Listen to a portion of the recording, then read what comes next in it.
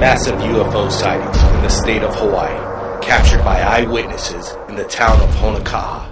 These incredible lights fly over the skies as eyewitnesses testify to their legitimacy. My name is Gabriel Hernandez. I live on the Big Island of Hawaii. A student from the University of Hawaii eyewitnesses a very strange phenomenon a lenticular cloud. It was absolutely incredible.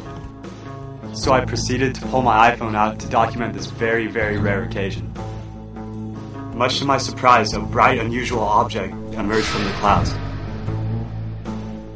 At first, I thought it was an airplane. But the thing that really caught my attention was this thing made no noise, so I zoomed in on it. But what happened next blew my mind. It's absolutely incredible. Could these lights be a result of the lenticular cloud or something more ominous? Can't tell you what it was or where it came from. But one thing's for sure, when it dropped that object, it gave me a very uneasy feeling because this is my hometown, Honoka'a. But after all is said and done, I just feel extremely privileged and blessed to be able to capture this once in a lifetime phenomenon on tape.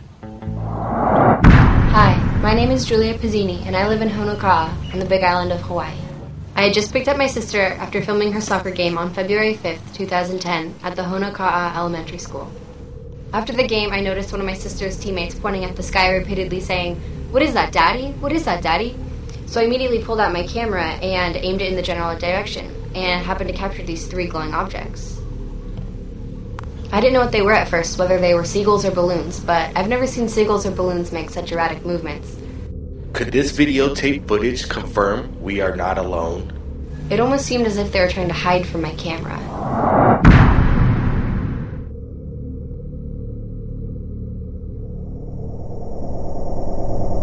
After a few short moments of attempting to evade my camera, they seemed to just disappear behind the clouds.